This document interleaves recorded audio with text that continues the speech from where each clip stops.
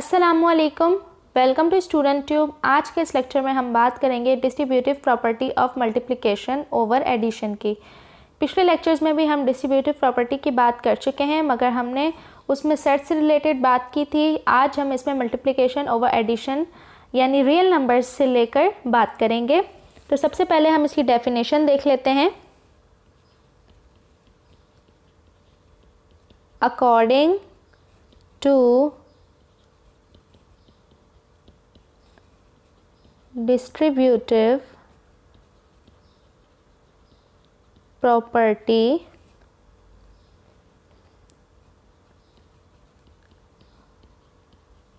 multiplying the sum of two or more addends by a number.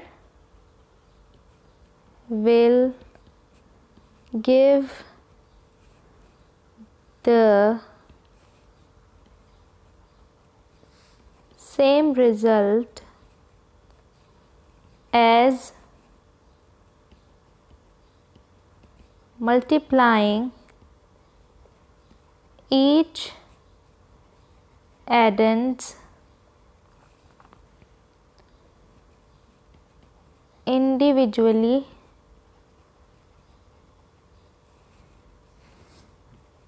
And then add up.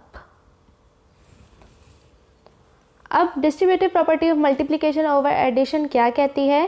According to distributive property multiplying the sum of two और more addends by a number will give the same result as multiplying each addends individually and then add up यानी कि अगर एक या दो या दो से ज़्यादा नंबर दिए हुए हैं और हम उसे पहले प्लस कर लें और उसके बाद किसी नंबर से मल्टीप्लाई करेंगे तो रिज़ल्ट सेम ही आएगा।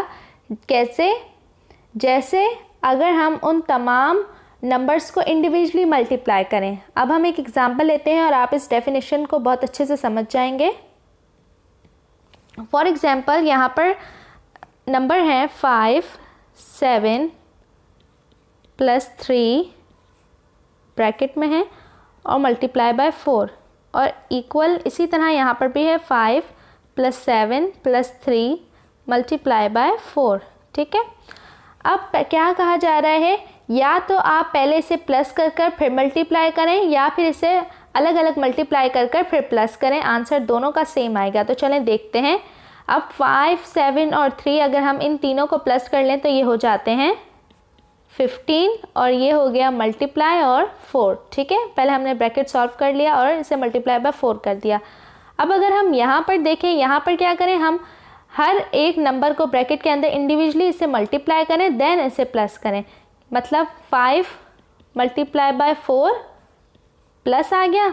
Then seven multiply by four then बीच में प्लस का sign then three multiply by four अब हम क्या करेंगे? फाइव फोर ज़ा ट्वेंटी सेवन फोर ज़ा twenty eight plus three four ज़ा ट्वेल्व अब हम इन सबको अगर प्लस करें तो हमारा आंसर आ जाएगा सिक्सटी ठीक है? और अगर हम फिफ्टीन फोर ज़ा देखें तो यहाँ पर भी हमारा आंसर आएगा सिक्सटी बस फ़र्क क्या पड़ा? एक स्टेप हमारा ज़्यादा हो गया। बस ये फ़र्क पड़ा, लेकिन आंसर क्या है? दोनों का सेम है। तो इसका क्या मतलब कि हम पहले नंबर एडेंट्स ये नंबर्स क्या हैं? एडेंट्स के ला रहे हैं क्योंकि ये प्लस हो रहे हैं, ठीक है? अगर हम एडेंट्स को पहले प्लस कर लें देन उसे मल्टीप्लाई करें, या फिर उसे इंडिविजुअली पहले मल्टीप्लाई करें देन उसे प्लस करें, बात एक ही है आंसर हमारा सेम ही आएगा। तो ये था हमारा आज का टॉपिक जिसमें हमने डिस्ट्रीब्यूटिव प्रॉपर्टी की बात की। उम्मीद करती हूँ आपको ये टॉपिक बहुत अच्छे से समझ आ गया होगा। मज़ीद टॉपिक्स के लिए मेरे चैनल को सब्सक्राइब करना मत भूलें और साथ ही अपने क्लासमेट्स एंड फ्रेंड्स से शेयर भी ज़रूर कीजिएगा। तो मिलते हैं नेक्स्ट वीडियो में एक नए टॉपिक के साथ। तब तक के लिए दुआ में याद रखिएगा। अल्लाह हाफिज़।